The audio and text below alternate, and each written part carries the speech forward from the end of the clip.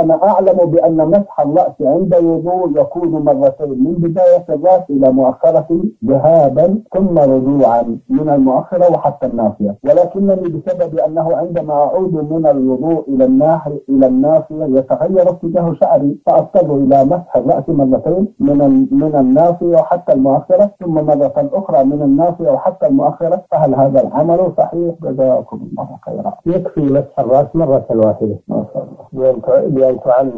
شعر الرأس المسح ويكفي مرة واحدة ولا يلزم أن أن ترد اليدين إلى الناصية مرة ثانية إن حصل هذا فهو أحسن وإن لم يحصل فليس بواجب لأن الأصل والواجب هو مسح الرأس مرة واحدة نعم جزاكم الله خيرا وأحسن إليكم